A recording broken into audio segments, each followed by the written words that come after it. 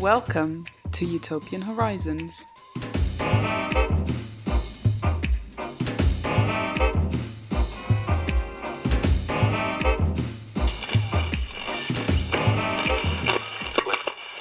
Hello, and welcome to episode 18 of Utopian Horizons, a podcast where I look at a different utopia, dystopia, utopian thinker, or movement in each episode to explore different visions of the future, look at ideas that have changed or could change the way we live, what these utopian visions tell us about ourselves, and the critical and inspirational power of utopia. In the last episode I did, I said that the following one was going to be about Strange Days. Obviously, I lied because it's not. Basically, I've kind of forgot that I was arranging to do this episode and it just ended up getting slotted in before the Strange Days one. But the interview for the Strange Days episode is recorded, so that would definitely be coming. That is definitely the next episode. Um, but anyway, onto this one. This episode isn't so much about a specific utopia, dystopia, or movement as I would normally do in, in previous episodes. Basically, this was just uh, inspired by, I, I read an article on The Guardian by a guy called Mark O'Connell called Why Silicon Valley Billionaires Are Prepping for the Apocalypse in New Zealand. And it was full of the of the language of utopia and dystopia and touched on a lot of the stuff that I've been covering on the podcast. Obviously, Silicon Valley's been coming up a lot if you've been listening to to recent episodes. And I just thought it'd be really interesting to talk to Mark about the kind of apocalyptic dystopian or, or utopian vision of these Silicon Valley billionaires. But anyway, we'll get onto that in the in the conversation that we have. Before I go into the interview, I'm just going to quickly go through a couple of stuff I normally leave to the end because you, you probably just turn off after the interview and I start begging for iTunes reviews and stuff. But I'm going to slot it in before, and now you're going to have to listen to it. So yeah, if you have got a moment to give me a review on iTunes, that would be very helpful. Um, it would just help to raise the profile of the podcast. I don't know exactly how the algorithms work, but I do know that the more reviews you have, the more visibility you have on iTunes. So, yeah, if you could take a moment to do that, that would be great. Also, I have a Patreon at patreon.com slash utopian horizons that is there to help me cover the, the hosting costs of this podcast. And uh, hopefully, if that Patreon can grow, then that will make it easier for me to, to keep doing this and doing it more often. I like to try and get episodes out as um, quickly as I can, but you know sometimes work and other stuff gets in the way. As I've previously explained on the podcast, I I do work as a freelancer and I often have to end up using the time I should be spending working doing the podcast. So yeah, if if I could get some more money on Patreon, that would justify that to myself and I could spend some more time on the podcast. So yeah, it's at patreon.com slash utopian horizons if you can afford to and have the desire to sling a couple of quid my way for the work I do on this podcast. So, as I mentioned, my guest on this episode is Mark O'Connell. He's a, a writer who recently wrote a book called To Be a Machine, which is about um, kind of transhumanist attempts to escape death through through various means, uploading brains and um, cryogenics and all that sort of stuff. We do touch on um, the book actually in the interview, so there's there's some stuff on that. also has links to Silicon Valley, as um, seemingly everything I do does at the moment. Yes, the main topic of the conversation is this kind of um, this kind of bizarre trend for um, Silicon Valley billionaires to buy land, build bunkers, and so forth in New Zealand as a kind of insurance policy uh, against the apocalypse, which they seem to feel may or may not be coming. And it's a it's a strange kind of apocalyptic vision that blends a kind of utopian and dystopian vision in in various ways, and and is founded on um, some kind of uh, utopian thinking, I think. But it's better if I don't go on about too much, and you can just hear us talking about that. I hope I've said everything I meant to say here. I'm very tired, so I may have forgotten something, but I, I think probably not. So without further ado, on to my conversation with Mark. Joining me now is writer and author of the book To Be a Machine, Mark O'Connell. Thank you very much for joining me, Mark. Thanks a lot for having me. So, um, Mark wrote an article recently for The Guardian, which um, very much piqued my interest, called Why Silicon Valley Billionaires Are Prepping for the Apocalypse in New Zealand. And being as that was full of stuff about utopia and dystopia and Silicon Valley has been a and, and its kind of ideologies has been a subject that I've been unwittingly kind of touching on repeatedly as I go through. I decided it'd be really good to speak to Mark about that. So um, before we get on to talk about the New Zealand thing, I just thought it might be helpful to talk about Peter Thiel because he's kind of a key figure in this, or at least emblematic in in some way of, of the kind of things that, that you're talking about. So could you explain a bit about who he is for anyone who might know, even, even those who might be somewhat familiar with him may not know about his, his kind of ideology and, and so forth. So could you talk a bit about, about who he is? Yeah, I mean, the sort of simple version of describing Thiel would be to say that he is one of the kind of major venture capitalists in Silicon Valley. He founded PayPal in the sort of late 1990s with Elon Musk was another person who kind of came at that mm. uh, the early days of that company but he's since gone on to found a bunch of sort of targeted venture capital companies that invest in the technology space he's also he also started uh, Palantir which is a huge kind of private sort of surveillance company mm. that works with uh, U.S. intelligence and uh, various other kind of uh, nefarious kind of groups. Um, he's also like he sort of became. I mean, I wrote about him quite a lot in my book To Be a Machine because mm-hmm. he is someone who has invested quite heavily in the technologies and sort of speculative technologies around the idea of like radical life extension. Um, he's obsessed with extending human lifespans, like particularly his own, I think. And so he is someone who, yeah, I, I sort of, I guess, set up as, as something of an emblematic figure in the book. But he's also like more recently become fairly notorious as I mean, he's notorious for so many things these days. It's hard to kind of corral them all. But so he was like the the one figure of of any real note in Silicon Valley who came out explicitly in support of Trump um, hmm. during mm. the presidential campaign. Uh, and he's, you know, since been kind of uh, mooted as a possible, you know, Supreme Court justice and all these kinds of crazy things. Oh, wow. um, so, I mean, that, that seems like a bit of a long shot. Uh, he's also notorious for having bankrupted Gawker via the instrument of Hulk Hogan. Yeah. Gawker outed him as gay many years ago, and he kind of uh, served his uh, revenge cold by funding Hulk Hogan's libel lawsuit against mm. which caused the whole thing to collapse. And yeah, he's also, I guess, more recently again known for having uh, essentially bought New Zealand citizenship and bought a huge amount of land in New Zealand, uh, apparently as a kind of a hedge against the collapse of civilization in the rest of the world, um, which is mm. why I kind of went down there and, and investigated that. But so yeah, I mean, you can probably tell from what I've been saying so far that Thiel, in a way that I'm not entirely sure how it happened, but he's become this sort of, uh, like I say in the article, like he's a white whale kind of figure for me in my work. He's someone who like represents something far larger than himself. I think he like he represents to me and to quite a lot of people actually a kind of a new and particularly rapacious form of techno capitalism. Mm.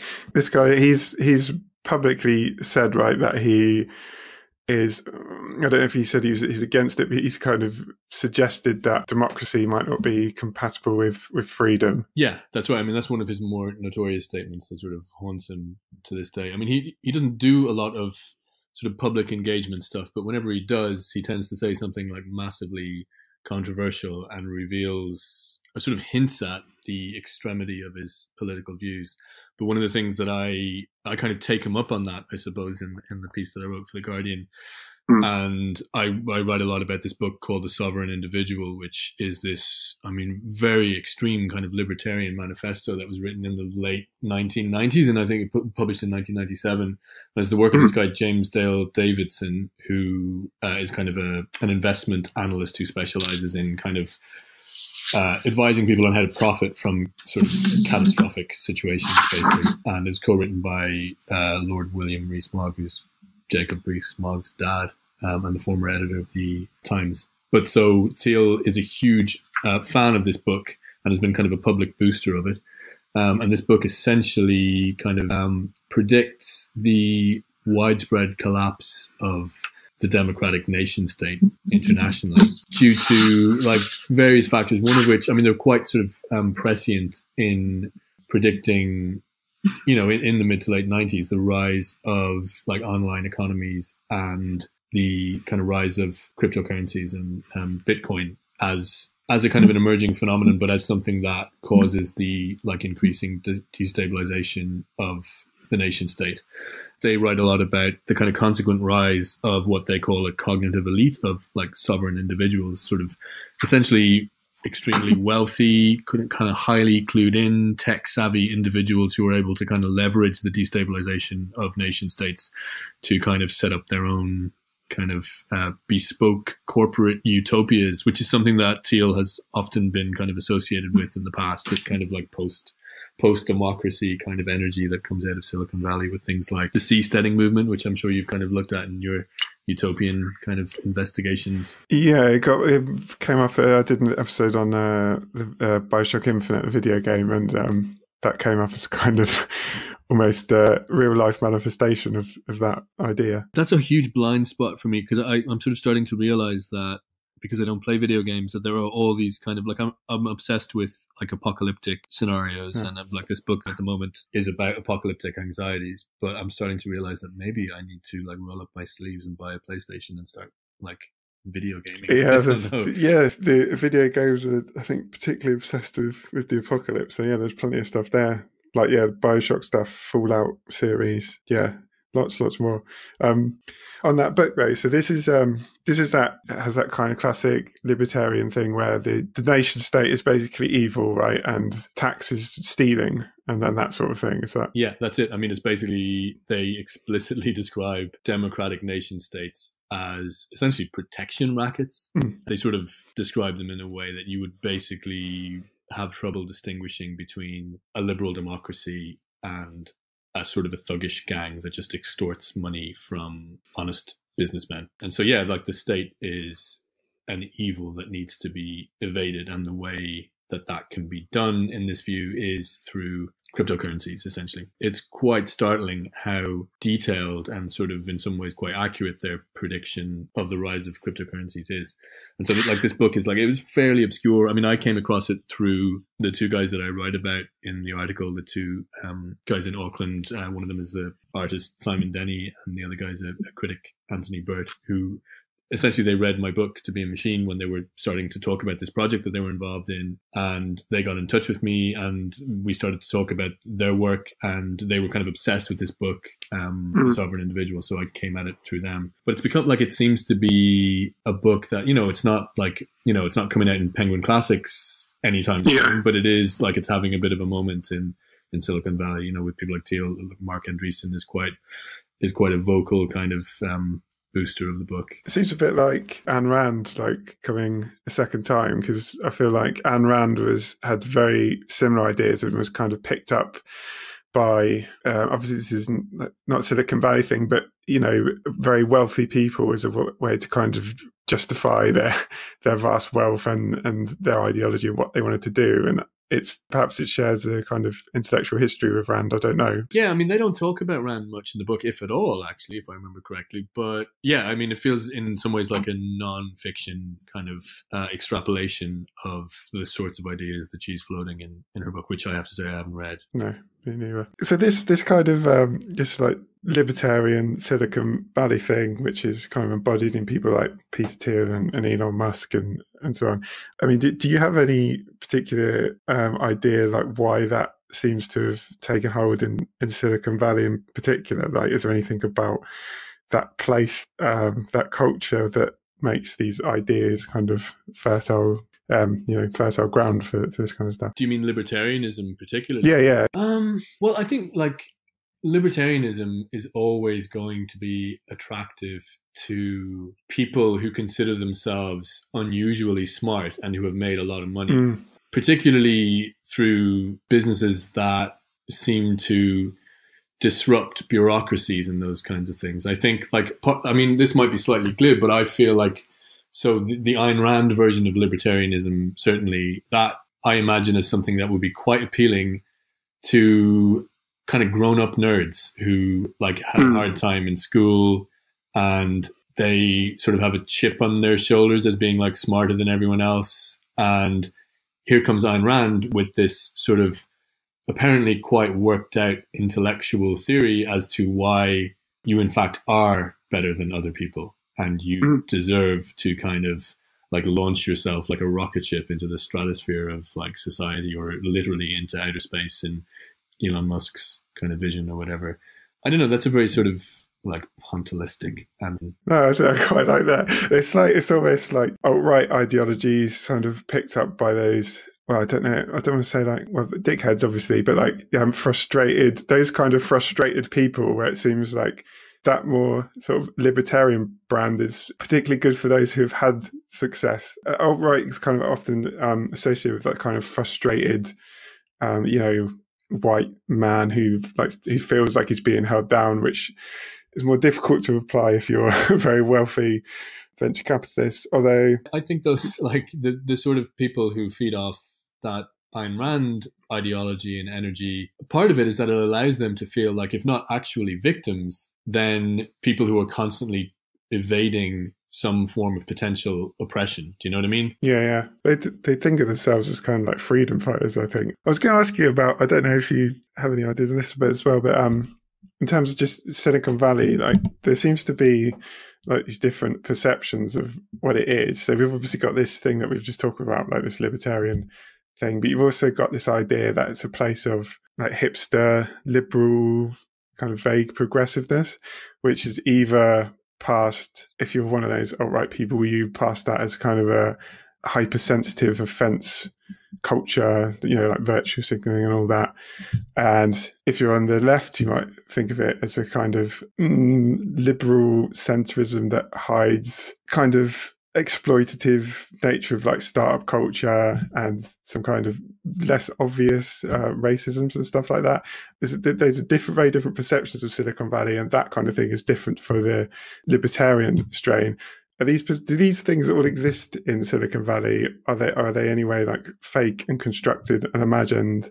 And are there any connections between these different uh, ideas of Silicon Valley? Yeah, well, uh, like I should sort of preface this by saying that I am speaking only as an outsider to Silicon Valley. Sure. Um, and so my that's sometimes useful, though, I think. But maybe, yeah. But like, so like, I'm not even a particularly privileged outsider, if you know what I mean. So my my view on the place as a cultural phenomenon is quite slanted. I mean, my kind of my interaction with Silicon Valley was very much I was looking when I was writing my book. Certainly, I was looking to extract certain very extreme ideas from that culture and try and sort of make them uh, reflect back on the on the mainstream of that culture in a way mm. that I hope wasn't distorting, but definitely it was a particular angle. And so the other thing to say about Silicon Valley is that there's sort of like there's no there there, right? Like so like when people talk about Silicon Valley, it's often difficult to identify what it is they're actually talking about. Like even geographically, like you know, you don't hmm. really go to Silicon Valley. Like I, you know, it's like it's it's hard to get there in in an interesting kind of way. Like so, obviously, San Francisco these days is kind of Silicon Valley, is what people are talking about mm. when they talk about Silicon Valley. But so I think, like, yes, I, I would say the the first of those two things. Like I would say broadly, Silicon Valley is kind of like liberal in that in that sort of like you know, vaguely right on kind of mm. way that is not necessarily anathema. I'm having trouble getting at this in a way that like correlates the two things together. But I would say like there are definitely extreme elements within Silicon Valley. There are, I mean, the sort of like the neo reaction movement certainly I think is inextricable from the culture of Silicon Valley. And there is this tendency within the tech world generally to like view politics as a sort of a hackable system, as a kind mm. of as a, a problem that might have technological solutions, and to see the sort of coder mentality or ethos as the thing that is most usefully applied to like larger political systems. It's a kind of a delusion, I think, that is particular to the tech world, to Silicon Valley. I would want to be careful about speaking about the tech world as though like extremism was somehow inherent within it. I don't think that's necessarily the case. Mm-hmm. But yeah, there is there is something about Silicon Valley's sense of itself as this kind of not transgressive is not the right word, but this like sort of a culture that is on the vanguard of yeah. um, the economy and as a kind of a force that is both creative and destructive that I think leads to ideas like the neo reaction thing that I write about a little bit in that Guardian piece. And Yeah, it's complicated, I suppose, is what I'm getting Yeah, at. definitely. I definitely think there's something in that um, idea of like all these the Silicon Valley, regardless of the kind of political allegiance, tending to think of politics in terms of like technical solutions or like formulas to be like they don't, I don't think any of these people sort of believe in ideology, if you know what I mean. Yeah, they think ideology is not like is a thing for other people. Like they don't think of themselves as ideological. They think of they think of themselves as like solving a mathematical formula or something. Um, anyway, let's get let's get back onto the the thing you wrote an article about because that's uh, I really want to talk about that because it's very interesting. So essentially, your article is about people like Peter Thiel who are making um, New Zealand into a bolt hole for themselves. So why New Zealand and why do these people think they need a bolt hole? What are they escaping from? Yeah, well, so that, that that's sort of the set of questions that I went to New Zealand to try and find answers for, and I'm not sure whether the the article actually generates any concrete answers. Like what was interesting to me about the reaction to the piece, which was quite overwhelming, people reacted to it as though I were imparting the information that not only are these people out there buying land as a hedge against the collapse of civilization, but also the apocalypse is imminent. I think that was kind of the Right. the reaction that that I, I tended to see. Like this thing is a symbol of you know a portent of, of end times in a way, um, which was not necessarily what I thought I had when I was writing the piece. So I went out there, like yeah, to try and answer those questions, like why New Zealand? In like in some ways, that's a really easy question to answer. Like geographically, New Zealand is really fucking far away from everywhere else, Mhm. and yet at the same time, it's a place that you can get to within like whatever you, you know you can get an overnight flight from California, so it's reachable. So it is that sort of like sweet spot between remoteness and accessibility. Um, it's also an incredibly beautiful place, which is the first thing you realize when you get there. That sort of complicates everything. You get to New Zealand and you see these places where these billionaires are buying property, and you kind of go, "Oh, well, I get it." You know, if I was really wealthy, I'd probably buy a nice little spread for myself in New Zealand. So that's like some of the reasons. Obviously, the book that I talked about, The Sovereign Individual, what was interesting about that to me was that aside from all the kind of extremely kind of radical libertarian manifesto aspects of there are some practical kind of elements to the book where they suggest things that you should do if you want to be part of this like cognitive elite in the future. And one of the things they suggest is that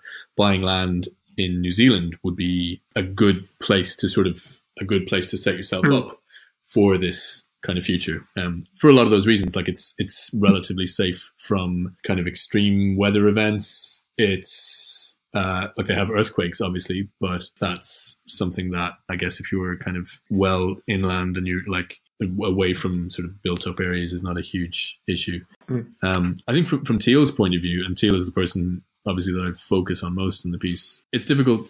I mean, so there's so much projection when it comes to Thiel because he doesn't really talk about this stuff. It's all kind of projection and deduction in a way. But he's obsessed with Lord of the Rings Yeah. that cannot be discounted in any of this actually in new zealand's kind of position as this uh, utopian space within the current sort of apocalyptic environment particularly as it as it relates to silicon valley can't be separated from tolkien basically Yeah, I was going to ask you that whether it's like really because this idea of like oh you know it's a practical thing. This is the this, there's good reasons to be here, but it seems like in in some ways it's like a also partly just a yeah the utopian projection on Thiel's part because the guy's obsessed with that book. that's i mean the, the first thing to be said about thiel really is that like almost all of his companies are named after elements of the lord of the rings books and i'm by no means like i'm kind of an ignoramus when it comes to both sci-fi and fantasy but like all of his companies are references to Tolkien in one way or another, like Palantir, which I mentioned, which is the big kind of surveillance Hmm. operation. The, the Pal- I don't know if you know this, but the Palantir are, I think, seeing stones, like these stones that are used to like watch over people that are used by who's the like the big bad guy in Lord of the Rings, Uh, Sauron. Sauron? Yeah. Yeah, I'm not really into that either. So Yeah. Um, so Lord of the Rings like is a huge element of all of this, and so when, like when I went down there and traveled down to the South Island from Auckland to go and like actually visit Thiel's like apocalypse property, for want of a better term, uh, I went with Anthony Byrt, who's the the art critic who I mentioned, and uh, Anthony is like in a weird sort of way obsessed with Tolkien. I mean, he despises Peter Jackson for various complicated reasons. Uh, one of which is that I didn't know this until I went down there, but New Zealand's labour laws were changed in the early 2000s specifically so that the Hobbit movies could be made in New Zealand, so that they could um, hire like actors and, and crews uh, without making them employees or whatever. So New Zealand's labour laws have been like materially damaged by by people filming Lord of the Rings. But so when I was traveling around there with Anthony, he had write about it a little bit in the piece, but he had this weird kind of like inability to see his own country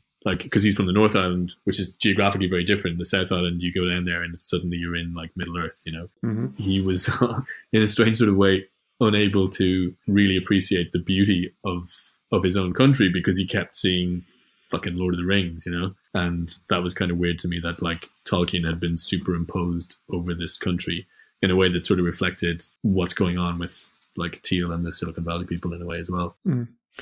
I just want to emphasize as well, like we're not kind of exaggerating calling it a, about how like you you said that there was um there's people there was some Bitcoin billionaires who literally were constructing a bunker there. There was I was surprised how like brazen they are about this. Like you you said um Sam Altman, who I'm not familiar with, but apparently Silicon Valley guy, said to the New Yorker that he and Thiel had an arrangement where if there was some kind of giant apocalyptic collapse, like a virus outbreak or a rogue AI taking over the world or nuclear war or something, then they were going to get on a private jet and go to Thiel's property in New Zealand. So, you know, not exaggerating when I say that they're making this into a, a place to escape. But like, there's, do you think these people don't sort of see the irony of like, if there is going to be some kind of, you know, super powerful AI taking over the world or or something like that. Do people like Elon Musk and Peter Thiel are going to be at the center of, of these kind of things? No, and Thiel as well, he, as you said, explicitly backing Trump, who, of course, is the relations he's kind of um, had with North Korea. If you're worried about nuclear war, then that's kind of you know pushing closer to anything than, than anything else. So, I mean, do you think these people don't sort of realize the the irony of their they're like building a place to escape from the problems that they're creating? Yeah, well, I I think this is where it gets really interesting and also kind of disappears into sort of potential conspiracy theory stuff, which I'm okay with. I'm fine with Yeah. that. I'm like I'm as influenced by Pynchon as anyone else. But like I think what's happening actually is that it's not so much that so say Thiel to take our central example here, it's not as though he's purely or like only afraid of the apocalypse in the way that like the sort of doomsday preppers are. I think he's playing a much more complicated game. And what he's doing, I think, is he actively wants to destabilize democracy in order to create this post nation state libertarian sort of dispensation that the sovereign individual kind of delineates. Again, like this is can only ever be speculation, but I think what we think of as the apocalypse is like the sort of collapse of civilization or whatever is something that might not be such a terrible thing for him because something like from his point of view better might arise out of that. Mm. As you said at the very beginning, from his point of view, he sees democracy as something that is no longer compatible with freedom. And like when libertarians talk about freedom, they talk about the freedom of the individual, the wealthy individual, to accumulate as much money as he or she could ever possibly want to without Mm. the tyranny of taxation or of any kind of like responsibility or obligation towards society, which they see as purely kind of abstract anyway. And uh, like, I think inherently a form of like oppression of the individual. So I think that's what we're talking about when we talk about Thiel's apocalyptic sort of leanings. Yeah, there's something really fascinating about the the character of that as well, because like, so a question that gets asked on this podcast is like utopia for who, but this is a kind of more like dystopia for who. Like it's um, you have this thing in the, in the article you talk about the, the book Sovereign Individual and this kind of ide- ideology being it's kind of predicting this this dystopia of your your darkest imaginings, but it's uh, like a new utopian dawn for, for somebody else. So like you usually when thinking about utopian stuff, utopia tends to always have something problematic that you can uncover in it. So normally when you're analyzing a utopia, you're kind of uncovering the dystopian dimensions. But this is like the reverse. There's something strange about this thing. This kind of it's like an apocalyptic utopianism where, um, like you said, they they almost uh, anticipating the the apocalypse gladly. They see like this um, this collapse as a new utopian moment. Yeah, so it's a dystopian vision, but it will bring a like a utopian future for them. If you see what I mean, there's something really strange about that mix of like apocalypse and and utopia. Yeah, I think so. Like, it's difficult to say what it is they are imagining in terms of like the broader picture of the world itself. I think what what they imagine for the future is that like the vast majority and maybe they're right about this like this certainly seems to be the way that like capitalism is heading as far as i can see like that the vast majority of people are basically screwed and mm. that like the way that the economy is heading you know and like taking in things like climate change and you know the threat of political instability it's sort of like well at this point maybe we should just feather our own nests and sort of hunker down and try and continue making money out of the technologies that we've built and um, yeah, I, I like, but I, I, think there probably is some kind of utopian impulse in there. Like I'm, I'm i go back again to the um, to the idea of seasteading, which is really like on one level completely absurd and like basically kind of idiotic, but on another level, it's fascinating because you're basically you're talking about people who are like they're looking at civilization and seeing the cracks in it and mm. instead of saying like how do we fix this how do we contribute to some kind of communal betterment mm. it's like well to hell with all of you people we're going to build a new country out in the middle of the ocean in international waters and like have it just be tech innovators and it's going to be amazing but you can't mm. that in itself is a deeply apocalyptic kind of notion i think you know when people begin to think like that that in itself, you, you're already seeing civilization in some way has to already be collapsing for that yeah. to be like a, a, a, viable notion, you know? Yeah, it's like it feels like it's sort of the kind of ultimate frontier for disaster capitalism. Yeah, like you say, they they either either don't care or just kind of accept as inevitability that everything's screwed and think, well, at least this is like a new frontier for profit and and power. And as you said, Thiel seems to basically want his own country, I suppose. So yeah, I guess he sees this as like this is an opportunity for to get that power. Yeah, I think that was like the one thing that really freaked out a lot of New Zealanders about my article was that that quote where an acquaintance of Thiel says that he has been known to speak about like you know pricing up what it, what it would cost to buy his own country and that in connection with his slightly creepy interest in in New Zealand as this like vast empty place that might be a good place to be in the collapse of civilization or whatever. That's something that kind of New Zealanders found, I think, rightly a little bit upsetting. Yeah, I, I wanted to ask you about actually, but just just quickly, I think something that's in, important about that is you say it's in the article as well. Like if something, you know, if we have some kind of climate disaster or you know something of that nature, then these are the people that are going to be able to afford to not have it affect them, basically. And obviously, that's something that we should be aware of is very problematic. Disaster is going to be spread as equitably as current power relations, basically. And like, I find it very frustrating when people think that the likes of Elon Musk are kind of going to save us from, you know, another kind of tech Silicon Valley people are going to find the solutions to save us in the future. And we should remember that like these people were preparing for disaster and they will be insulated from it. So yeah, yeah. I, I, I mean, I find that. I mean, I would love to know who are the people who think who really like really believe that Elon Musk is capable of saving us from catastrophe. Like, I think there's hmm. something really fascinating about this idea that we, quote unquote, are going to perpetuate the survival of the species by like by virtue of Elon Musk, Musk's incredible cleverness and like virtuousness.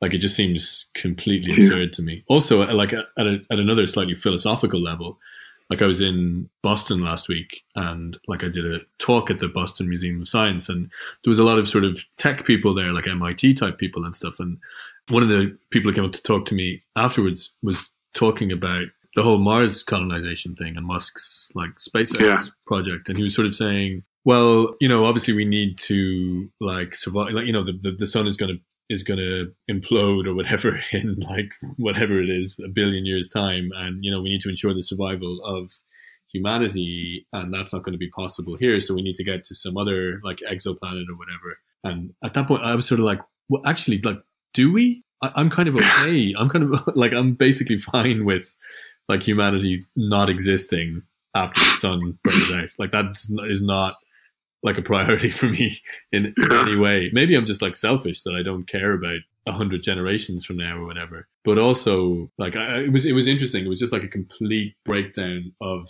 like there, there was it was like there was no shared sense of what was important between us. Yeah.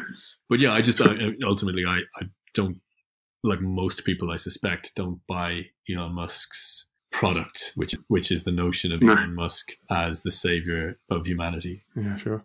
Just reminded me of something actually. Weirdly, so I, I hadn't been conscious of it recently, but according to like stats for this podcast, this podcast is most popular in San Francisco. So I'm, I'm constantly banging on about how bad Silicon Valley is. So that's weird. Great city, though. There are some very nice people who who uh, listen to this podcast who said that they live in San Francisco or in, in tech. So I don't want to make out like everyone in Silicon Valley is. Use this uh, to point out that I feel like I'm partly San Franciscan. My grandmother is from San Francisco. I have family over there who I love deeply. I love San Francisco. It's great. Just going back to this thing you mentioned about New Zealand as a blank slate, I thought it was interesting because I think you particularly you mentioned a, a Maori academic there, but something that's there a lot in in history of utopian thought. So, for example, there's a book I'm, I'm reading at the moment for a future episode where they find this like undiscovered, uninhabited paradise in Africa, and you know it's not insignificant that it's like these colonial spaces that are often like empty.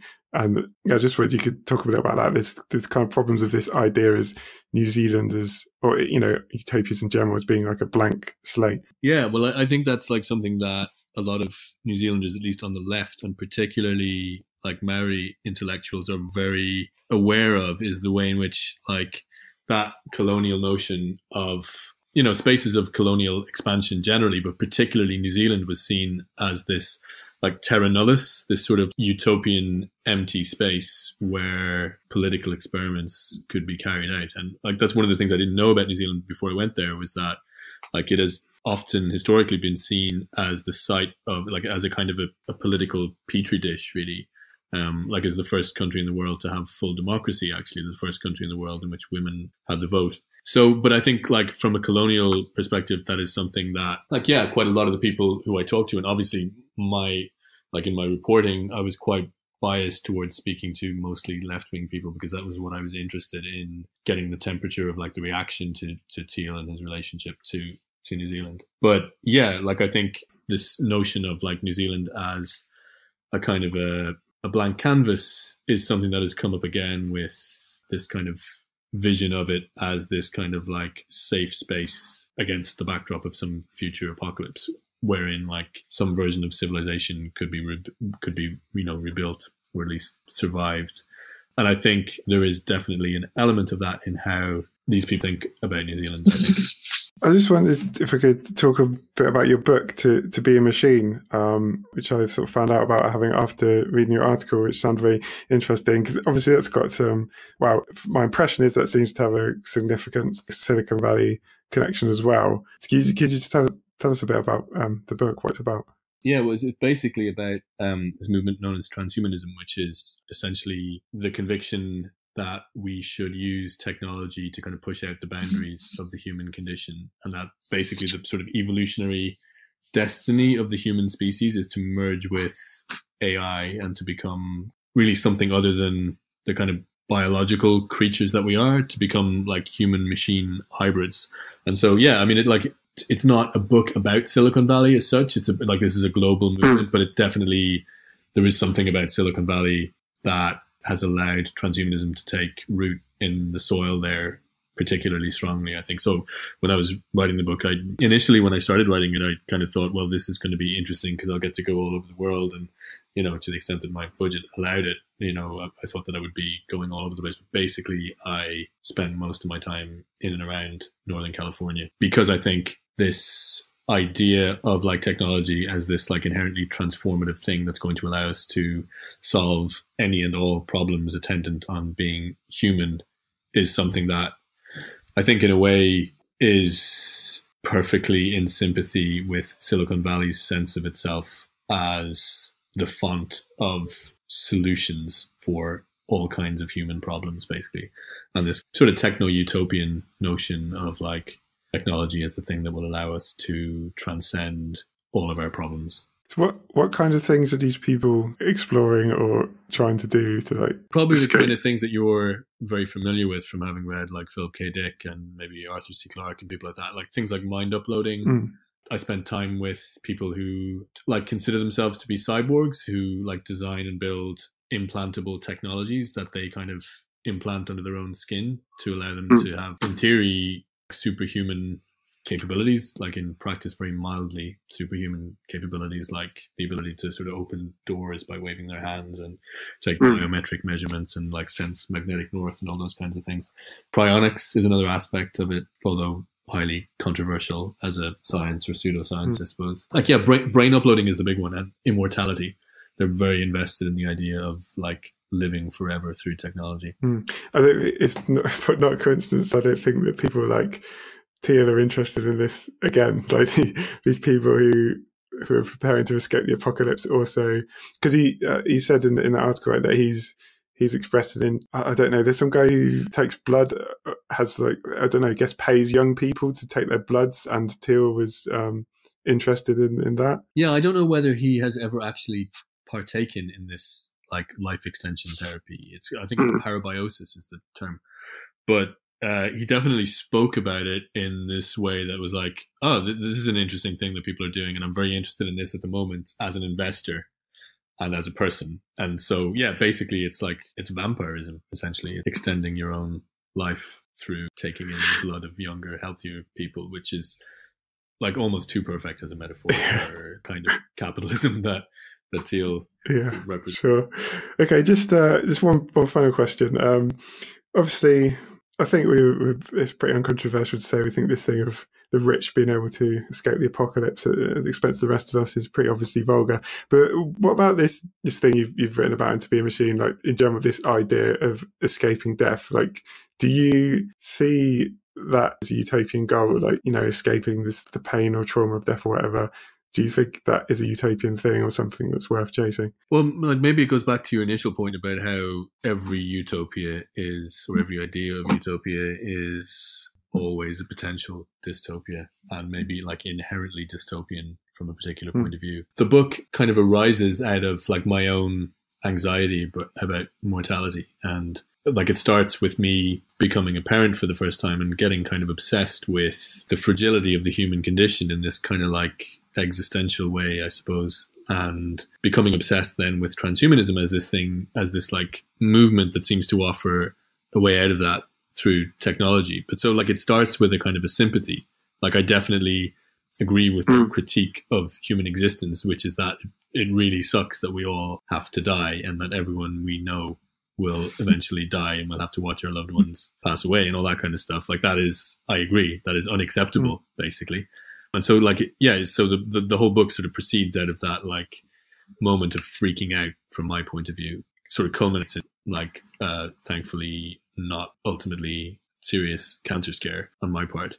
But so like yeah so i have i have sympathy with the, the not wanting to die part but where i part company with transhumanists is like where they go with that which is like well let's roll up our sleeves and use technology and like throw loads of money at the problem and actually try to become immortal because and this is like slightly paradoxical i suppose but as much as the idea of like my own personal death is deeply unappealing to me the idea of immortality is even more unappealing to me. Like i would not as much as i don't want to die i definitely do not want to continue living indefinitely. And i think it definitely leads to some dystopian endpoint whereby I think like inherent in the whole transhuman project is to me anyway an exacerbation of the kinds of already dystopian social inequalities that we're living under at the moment. Yeah.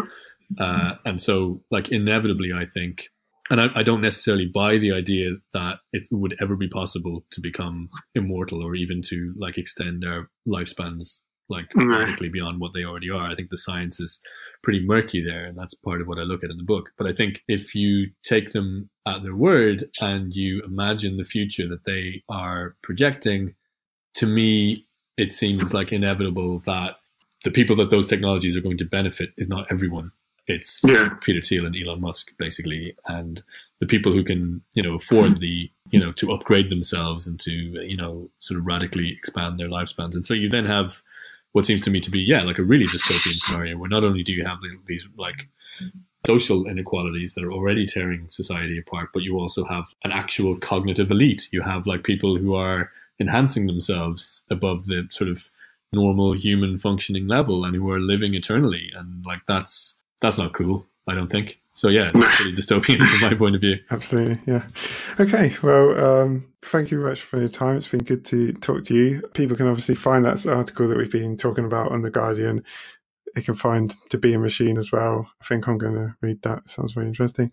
Uh, and yeah, yeah. Thank you very much for talking to me. It's been good. Thanks a lot, Paul. So that's the end of my conversation with Mark. I hope you enjoyed it. Just to remind you of what I mentioned at the beginning, iTunes reviews would be good if you've got the time to do that. Patreon is patreon.com slash utopian horizons. Um, I recently set up a Discord, which is a kind of um, chat server for people who don't know. And there are a few people who listen to the podcast in there with me. So if you'd like to join and come and talk to us, you can find the link to the Discord it's the pin tweet on my Twitter feed, which is at Utopian Horizons. So just go there and um, click the link at the uh, on the pin tweet and you can join the discord and come and talk to me and other people. That would be cool so yeah as i mentioned the twitter is at utopian horizons. If you want to email me any um, questions or, or, comments or feedback you've got i'd love to hear that too. So you can get in touch with me on utopianhorizonspod at gmail.com as i said at the beginning of the podcast the interview for the next episode is already recorded. It is on strange days. After that there should be an episode on angel of the revolution which i have taken far too long to read, but have almost finished now. And then I'll probably go back to back to a Philip K. Dicker episode, I think, but I'll see where I am after those are out. I am very tired, so I think I will leave that there. Thank you very much for listening, and I will be back soon with a new episode.